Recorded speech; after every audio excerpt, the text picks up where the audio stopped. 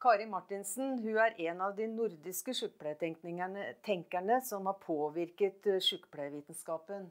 Kari Martinsen er norsk, eh, og hun er en sykepleier og en filosof. Eh, hennes hovedbidrag er den kritiske stemmen inn mot den rådende tenkningen innen sykepleie. Som hun mener at har fokus på enkeltmennesket og enkeltmenneskets vekst på bekostning av fellesskapet og menneskets omsorg for hverandre. Eh, Kari Martinsen ser på omsorg for det syke mennesket som sykepleiens kjerne. Målet for eh, omsorgen, altså den omsorgen sykepleien gir, er nært knyttet til pasientens subjektive opplevelse av helse, altså velvære. Kari Martinsen hun vektlegger en, har en menneskeoppfatning som bygger på relasjoner mellom mennesker, der fellesskapet har en sentral plass. Hun har et kollektivistisk menneskesyn. Dvs. Si at mennesket ikke kan forstås isolert fra sine omgivelser. Altså, vi er alle avhengige av hverandre. Vi har verdi i forhold til at vi er avhengige av hverandre. Og hun ser på at alle situasjoner er kontekstavhengige. Det som er, eh, hun trekker da spesielt fram, det er jo å få fram verdien ved å være de eldre som er avhengig av hjelp. Det fundamentale i de menneskelige relasjoner, det er noe hun kaller de spontane livsytringer, som da er tillit og barmhjertighet. Martinsen ser på omsorg som grunnleggende forutsetning for menneskets eksistens. Sånn sett så har hun en, eh, kanskje mer en filosofi enn en teori. Hun ser på omsorg som et ontologisk begrep, altså det som er helt grunnleggende for menneskeværens og eksistens.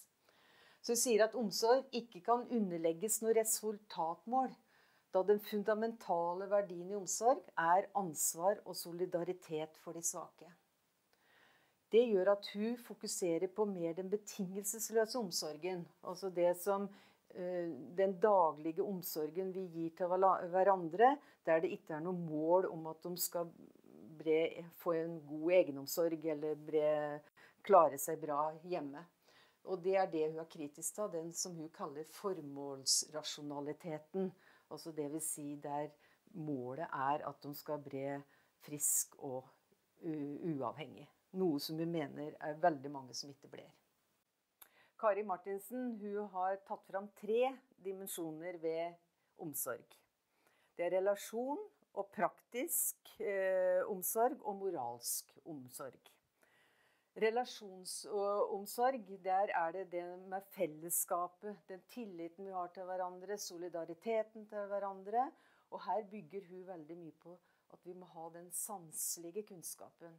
Også vi må være sammen med pasientene. Vi må, øh, vi må, være var for de signaler som kommer ut. Vi må bruke alle våre sanser når vi skal møte pasienten og gi vår omsorg ut ifra det. Så nevner hun den praktiske omsorgen, som går mer på det med forståelse og gjengivelse og anerkjennelse.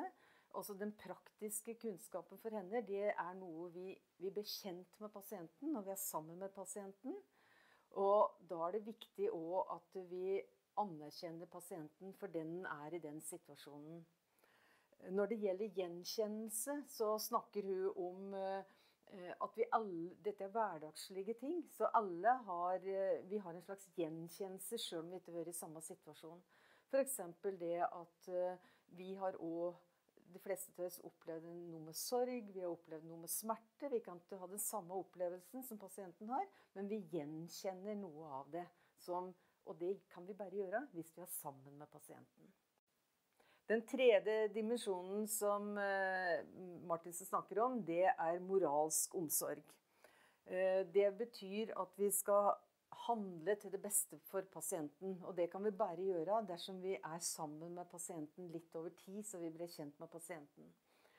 Uh, hun sier jo at det er viktig med den ubetingede omsorgen, altså at det ikke skal være vekstomsorg. Men samtidig så kan ikke vi ha en omsorg som gjør at pasienten blir dårligere. Sånn at uh, hvis pasienten får et uh, sår, men allikevel vil ligge, et liggesår, så må vi på en måte noen ganger handle litt imot pasienten, sånn at ikke såret blir verre. Og da svaker hun om at vi må bruke vår makt, for det er alltid makt i relasjoner, på en måte som gagner pasienten. Og det kaller hun da svak paternalisme. For å oppsummere noe fra Kari Martinsen, så sier hun at det fundamentale verdien i omsorg er ansvar for de svake. Altså solidariteten med den svake. Martinsen sier at av solidaritet som en ledende verdi, vil det si at en ikke setter verdier som uavhengighet og selvstendighet høyest.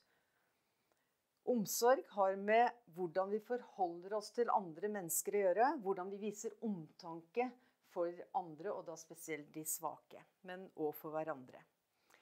Sykepleiens eh, omsorg omfatter da personlig engasjement. Vi må ha en innlevelse. Vi må bruke vårt moralske skjønn.